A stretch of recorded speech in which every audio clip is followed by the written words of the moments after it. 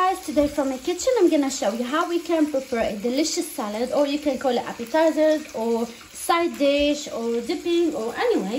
It's like salad tastes so yummy and you can serve it with a chicken with meat with fish. I'm, I'm frying fish today so I'm gonna serve it with the fish. The ingredients is so simple but this salad tastes so delicious and full of flavors.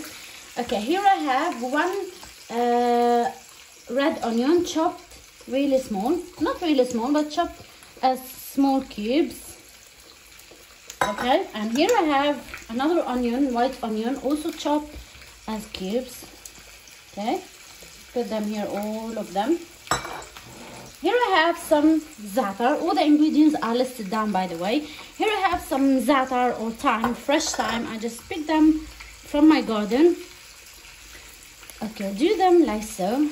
Take off the leaves after we just prepare the za'atar now I'm going to add two tablespoons of olive oil and two tablespoons of lemon juice. I'm gonna add salt to taste and mix it. For this recipe you don't need any kind of pepper at all no seven spices no black pepper.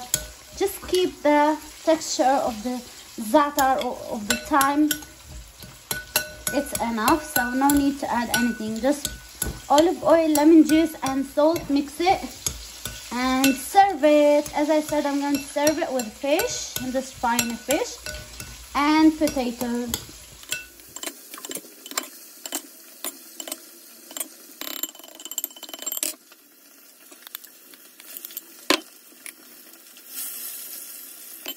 we go look at the beautiful salad. Now i'm going to serve it here. I'm gonna add some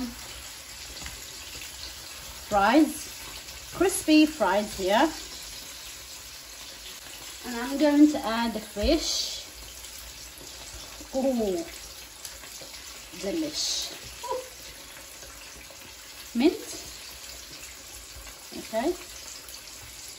Slice of onion and mint here. I'm gonna leave the mint here. Look at this. Oh my goodness.